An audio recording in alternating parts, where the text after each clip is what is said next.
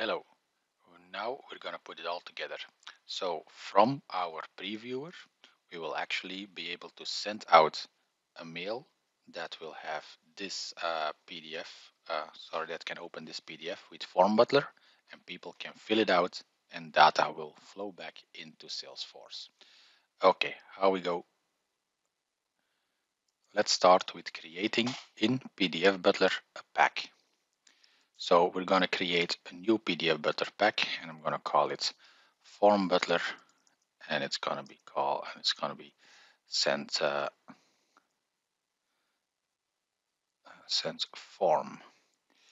The leading.config is my uh, form butler document, so that's fine. And now I'm going to save it and I'm going to create a new actionable on that pack. Means that when the document is generated, when we execute this pack, the actionable will be executed and this will take certain steps. The actionable is of type, as you see uh, the uh, record type form butler. Okay, now I'm gonna go for my actionable. So let's give it a name. The name is gonna be, for instance, uh, form butler academy. Now uh, it needs a class, like as always. Um, I will put this class in our uh, academy and also on our YouTube. So you can just copy paste it from there. But this is the class. It's of course an after uh, generation um, and class. So make sure it's active. It will run after the uh, the, do uh, the, document has been uh, generated. Now we need the email, the email.config that we're going to send out.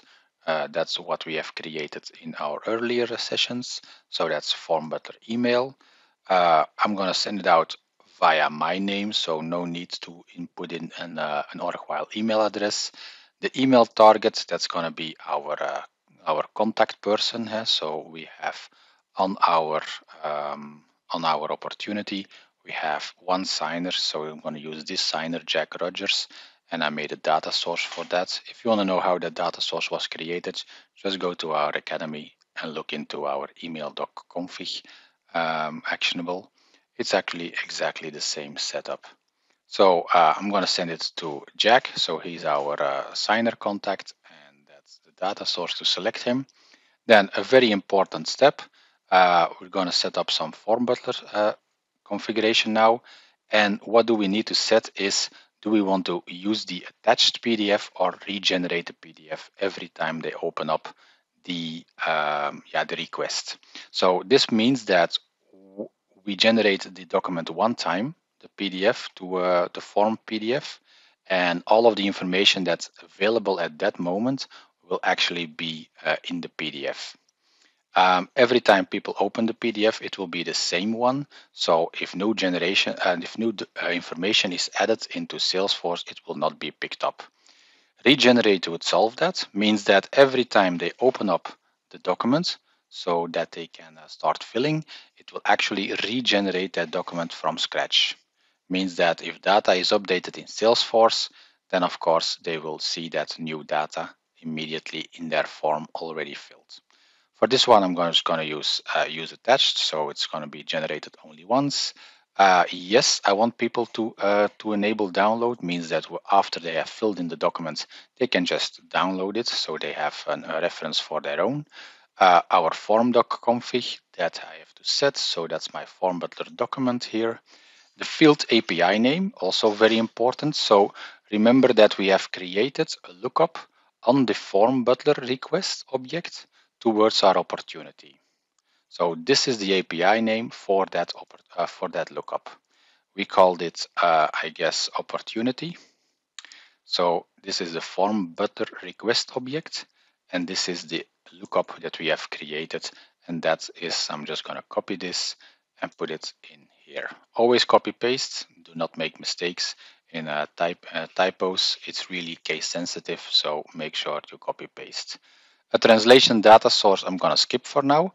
Uh, we're going to do that in a later session, but this means that you can actually have uh, translations of all of the texts that are on the form butler page. Means that when people start filling in, if they see a submit button, yeah, they will actually see uh, a translation of that submit button in French, in German, uh, when that is required.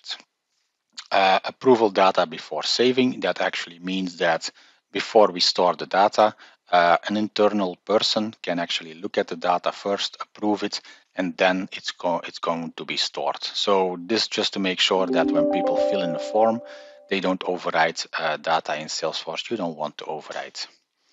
Um, extra document upload, yeah, I'm going to enable that. For instance, if you have uh, a picture to upload or an extra document, then you can enable this one and this will actually have extra uploads in the uh, form. We'll see that later on.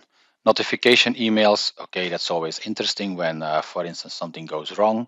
Um, that can always happen. Uh, we had a case where a customer created a validation rule and that validation rule was not in Form Butler. So uh, yeah, when updating the documents, that uh, yeah, when inserting the data, I mean updating the data, that of course failed. And uh, by uh, entering here a notification email, you can just uh, get the PDF that was created and the data that was inserted. So you can review that and see what happened, what went wrong, and how can I make sure my data, my entry is not lost. Then we have a bunch of branding uh, settings, which are always uh, nice to have.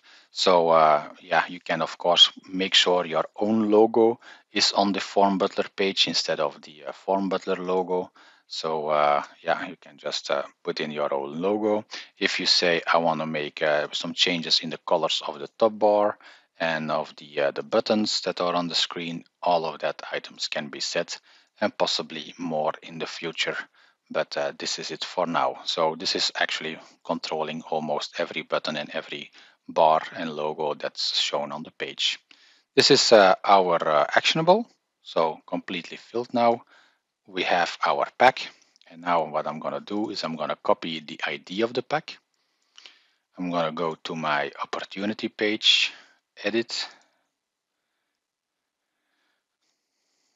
And we're going to make sure that from the preview, we're actually able to run this pack. Uh, if you do not want to preview, uh, then you just have to select the uh, um, the pdfbutler.configs uh, component. Then that then you can skip the preview and immediately run the pack without uh, uh, having to see the preview. But I just think it's very nice that we can see the preview first. Um, okay, so I'm gonna save this one. Now I'm gonna go back and this should be it. Now everything is set. Uh, we have uh, Jack Rogers. Jack Rogers will uh, send an email. Uh, I normally will receive that email right here. So uh, once that email is set, we have a URL in that email and uh, we can start filling in that data. So let's see if that all works. Okay, I have my document already, so that's good. I have my button to send it. So I click the button. It will now take this document, generate the sign butler, uh, sorry, form butler request, and have uh, and it's exact, uh, successfully been sent out. As you can see, I already received the email. So the email says, "Hey Jack, please fill out the uh, the document." Oh yeah, I see already. I have the full link here, but uh, we can change it as well if you use the link config type you can make sure that uh, you nicely have the link um, set up in the uh, yeah set up here instead of this long uh, this long link. Okay, let's click it, and it will open up our form butler page as you can see. And well, I've set the gray color as a background, so I have the logo here that I have set. I have all of my fields. I have my submit button. I can add extra attachments if I want. So let's now uh, make some changes gonna update this to make steps um, academy. Now the close date I'm gonna maybe shift a little bit because uh, December 2020 is already passed. So let's move that to um, 2021 and let's go for April uh, the 1st of April of 2021 the order number I'm gonna do one two three four Instead of other, the lead source is web. So I've updated now. Look how this uh, nicely, and this is a pick list, so it can only select one, uh, one item. So every time you change it, only one will be checked. The number of locations, well, as I indicated, this is a number, so I cannot fill in any other uh, things than a number. And I'm gonna put it to five. And then for the related list updates, uh, we have these checkboxes for the discount. Well, let's say that uh, only on the uh, the diesel gen, uh, the diesel 10 kilowatts item, I want to have a discount. So I'm gonna check this one. All the data should be uh, updated now. So if I click submit, we will take this data, store it immediately in Salesforce. Uh, you can, uh, as indicated in the actionable, you can download the the form from here, so you can review your your inputted data if you want. And now let's go and take a look at our opportunity. On the opportunity, we see that the uh, Next Steps Academy has already been updated, so that's uh, perfect. That seems to work fine. The lead source changed from uh, other to web, so that was also correctly updated. So uh, the order number changed from ABC123 to ABC1234. So these three items have been already correctly updated. Oh yeah, let's not forget the close date. Also, the close date has been updated to the 1st of uh, April. Now we have done some updates as well on the account. Let's open that account in a different tab. And I would expect that the uh, number of locations have, has been set to five. Yes, also updated. Very nice.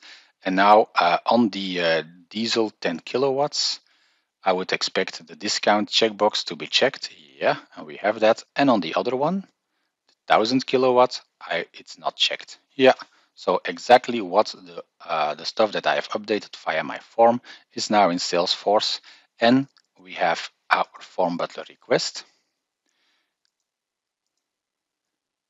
that we can take a look at here. We see the status is finished. So we know that it's now completely done.